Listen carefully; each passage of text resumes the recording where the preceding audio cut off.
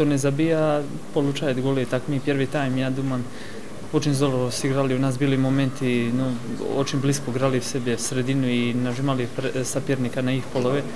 Поэтому и створали столько моментов. Не знаю, какая там э, ситуация была с Артуром Маловяном, когда футболист Локомотиве получил желтую карту.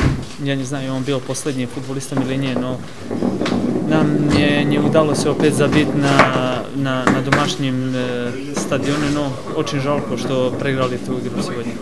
Матч хороший получился для болельщиков, очень зрелищный. Вот, нам не стыдно за свою игру, на самом деле. Просто, наверное, э, опять же, не хватило мастерства, наверное, в завершающей стадии. Вот, и я думаю, матч, в принципе, ровный получился.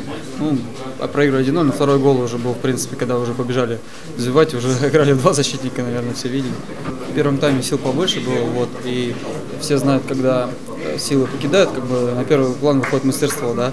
Наверное, сейчас у футболиста Локомотива и Зенита мастерство побольше, чем у нас, но э, первый сезон нашей премьер-лиги вообще, поэтому я думаю, что с каждым матчем мы будем прибавлять. Я думаю, с матчем, после матча с Зенитом мы прибавим.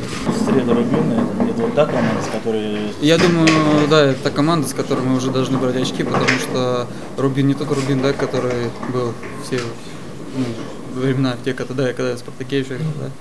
И сейчас Рубин нам по силам обыграть. Вот, и я думаю, что должны будем взять первые очки. Вот, и попрошу болельщиков нас поддерживать. Я думаю, мы оправдаем их надежды.